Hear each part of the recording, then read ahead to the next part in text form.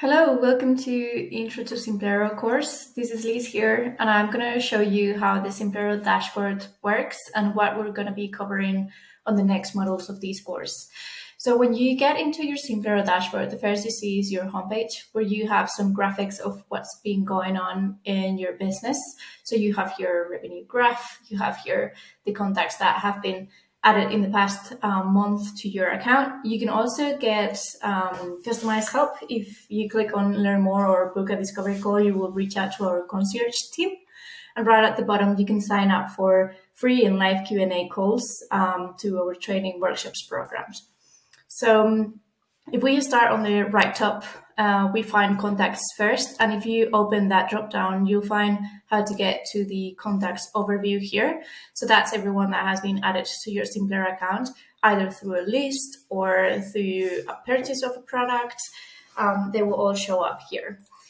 You can also access here your list. So we will show you how to create a new list, how to manage it, uh, how to add subscribers to it, to create opt-in forms. That's all happening here. Uh, you can also create contact segments in a bit more of an advanced feature. Um, you can see tags and you can also use support tickets through Simplero.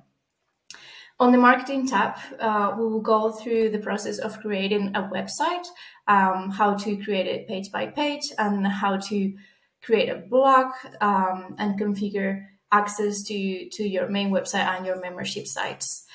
We'll also show you how to create email broadcasts and how to set up automatic reminders to uh, send out newsletters to your contact.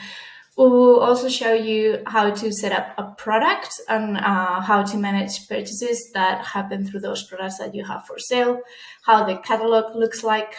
Um, so in here, you can just create any product, um, list them, and so on. Uh, eventually, we'll show you as well how to create a course and how to link it to a membership site.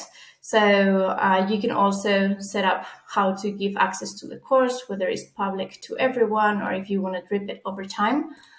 Um, eventually, we'll also show you how to change your URL so that you can set up your own custom domain and um, show you how to manage your your branding, email designs, and your opt-in forms and themes.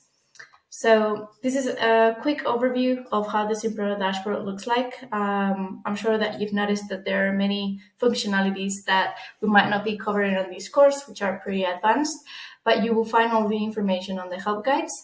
Something to note is that our engineering and product team works uh, deploy new features every day. So these videos might get outdated at some point, but the features that we'll cover on, on these lessons um, will remain mostly the same. If you have any questions or you cannot find some of the functionalities described here, just uh, reach out to our support team to help you out with that.